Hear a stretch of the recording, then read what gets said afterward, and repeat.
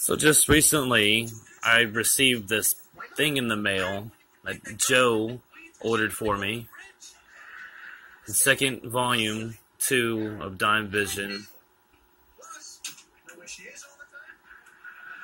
It's like he's staring at me. It's like he's just staring at me.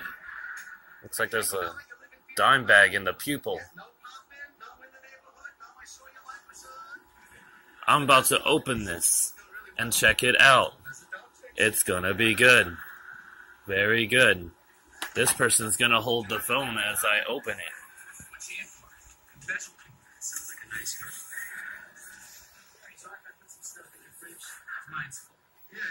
You're getting a clear shot? Yeah.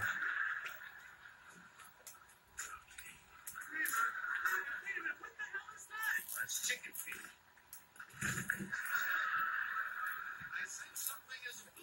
I don't want to ruin its greatness by opening it the wrong way.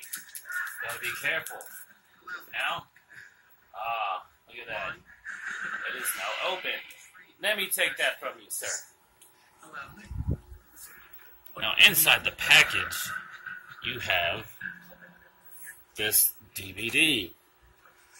And on this side, you got a CDD.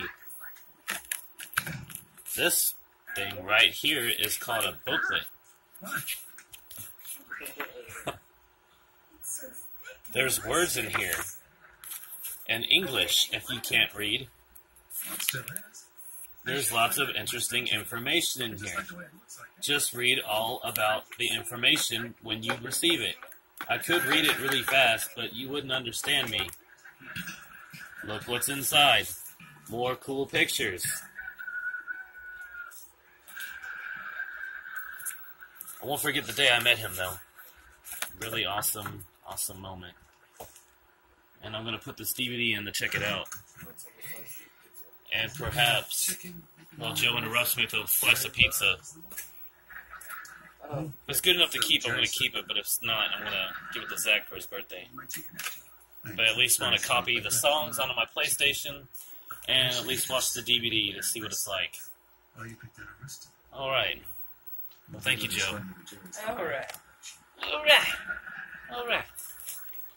Dimevision Volume 2. And this is what the case looks like. You would think it looked like a DVD case, which I was thinking, but it's not. It's just like a CD type of case.